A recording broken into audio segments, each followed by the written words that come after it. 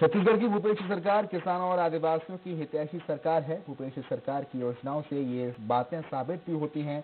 किसानों की कर्ज माफ़ी की बात हो या फिर आदिवासियों की ज़मीन वापसी की बात हो या फिर बात हो तेंदुपत्ता का समर्थन मूल्य ढाई हज़ार से सीधे चार हज़ार करने की। सरकार के इस फैसले का आज ये असर हो रहा है कि तेंदुपत्ता संग्रहण करने वाले आदिवासी परिवारों की आय में वृद्धि हो गई है। संग्रहणकर्ता आदिवासी परिवारों का आर्थिक दशा भी उनकी सुधर रही है। आखिर कैसे आया ये बदलाव? एक रिपोर्ट ये इन तस्वीरों को देखिए। ये हैं छत्तीसगढ़ में हरा सोना उगाने और उसे संग्रहित करने वाले आदिवासी परिवार। ये वो आदिवासी परिवार हैं जिनके जीविका का यही सबसे बड़ा आधार है। ये आधार है तेंदुपत्ता। जी हाँ तेंदुपत्ता को छत्तीसगढ़ में हरा सोना कहा जाता है। बड़े पैमाने पर छत्तीसगढ़ में तेंदुपत्ता का संग्रहण भी होता है। लेकिन तेंदुपत्ता का संग्रहण करने वाले परिवारों को इसका समुचित लाभ 2018 तक नहीं मिल पाता है। अब हालात बदल गए हैं।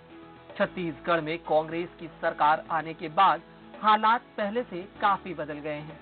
अब संग्राहकों को प्रति मानक बोरा चार हज़ार रूपए तक मिल रहा है, जबकि इससे पहले तक उन्हें ढाई हज़ार रूपए तक ही मिलता था। मुख्यमंत्री भूपेश बघेल ने आदिवासी परिवारों की आर्थिक दशा को सुधारने की दिशा में एक बड़ा काम किया है। वन मंत्री मोहम्मद अकबर कहते हैं कि छत्तीसगढ़ के आदिवासी परिवारों को सीधा लाभ पहुँचाने की कोशिश कर रहे हैं। छत्तीसगढ़ में कांग्रेस पार्टी की सरकार बनने के बाद एक बड़ी पहल करते हुए, जो तेंदुपत्ता संग्रहण का पारिश्रमिक है वो ढाई हज़ार से बढ़ा के चार हज़ार रुपया किया गया।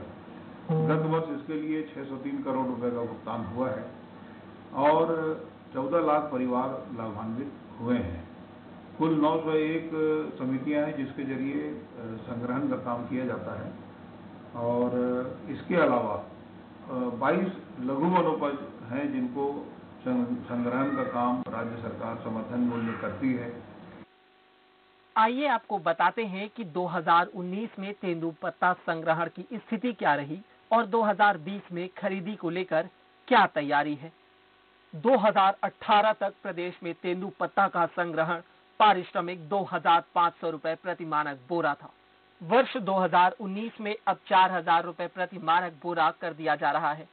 वर्ष 2019 में पंद्रह लाख छह हज़ार आठ सौ तिरासी मानक बोरा तेंदुपत्ता संग्रहण किया गया। संग्रहणकर्ताओं को लगभग 603 करोड़ रुपए का वितरण किया गया। वर्ष 2018 की दर की तुलना में वर्ष 2019 में लगभग 226 करोड़ रुपए की अतिरिक्त आय तेंदुपत्ता संग्राहकों को हुई।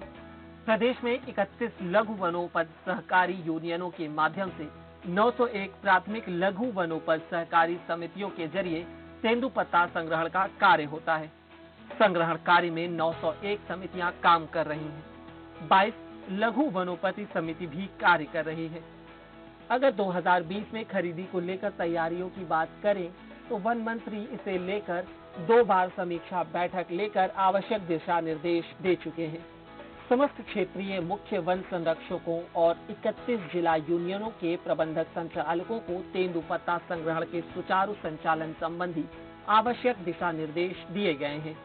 मंत्री ने विभागीय अधिकारियों को तेंदुपत्ता संग्रहण के सीज़न में अच्छी गुणवत्ता का अधिक से अधिक तेंदुपत्ता संग्रहण के लिए हर आवश्यक व्यवस्था सुनिश्चित करने के निर्देश दिए हैं। जिला यूनियनों को शाख कर्तन कार्य के सुचारू रूप से संचालन के लिए आवश्यक राशि लगभग 11 करोड़ रुपए उपलब्ध कराई गई है, ताकि तेंदुपत्ता संग्राहकों को शाख कर्तन कार्य का भुगतान समय से किया जा सके। इसी तरह तेंदुपत्ता संग्रहण के पूर्व गोदामों की पर्याप्त व्यवस्था सुनिश्चित करने के लिए भी निर्देश दे दिए गए हैं। इनमें गोदामों के मरम्मत संबंधी कार्य फरवरी माह तक अनिवार्य रूप से पूर्ण करने के निर्देशित भी किया गया है। तेंदुपत्ता संग्रहण करने वाले आदिवासियों का कहना है कि समर्थन मूल्य बढ़ने से अब पहले की स्थिति काफ़ी बेहतर है। बच्चों की बेहतर ढंग से परवरिश हो पा रही है। सुनिए क्या कहते हैं तेंदुपत्ता संग्राहक। तेंदुपत्ता संग्रहण में पहली पूर्व सरकार हमला पंद्रह सौ रुपया देत रही से अब हमला भूपेश बघेल जोन है चार हज़ार संग्राहक पैसा दिए थे एमे हम खुश हन और भूपेश सरकार के धन्यवाद।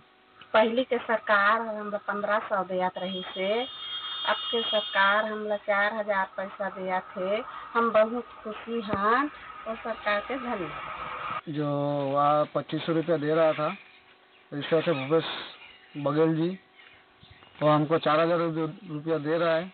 बहुत अच्छा बहुत अच्छा।